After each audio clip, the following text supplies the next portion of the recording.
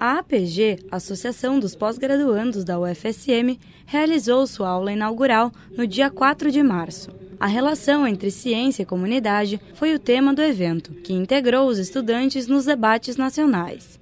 E que revela, assim, uma necessidade, provavelmente, é, um sentimento que os próprios pós-graduandos têm de, de aproximação, de necessidade de aproximação da pesquisa, da ciência com a comunidade, com a sociedade, visando provavelmente é, dar mais legitimidade para aquilo que se faz na pós-graduação, que, como se sabe, é essencialmente ligada à pesquisa, né, à formação de pesquisadores. Participaram o vice-reitor da UFSM, Paulo Baiardi, representantes da Associação Nacional dos Pós-Graduandos e da Pró-Reitoria de Pós-Graduação e Pesquisa da UFSM.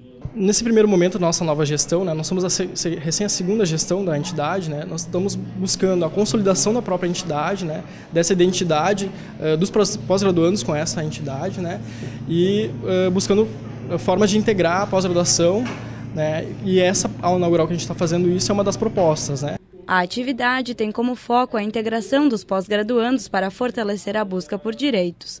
A garantia de uma moradia estudantil, a abertura do restaurante universitário nas férias e uma sede para a entidade na Casa do Estudante estão entre as pautas da associação.